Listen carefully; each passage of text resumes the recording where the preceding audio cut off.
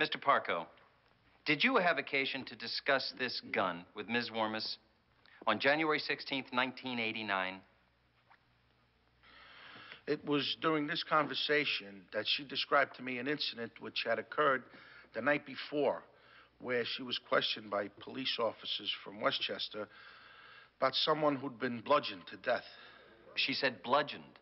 I specifically asked her if the person was shot. She said no, they were bludgeoned. And it was during this conversation that you asked her about the gun. Yeah, I did. I asked her uh, what she did with the gun I gave her, and uh, she told me I could come and pick it up. Then she calls me back, and she says I didn't have to come. So I asked her, why not? She told me she threw the gun away on a parkway. And that was the last time we had a conversation about that gun.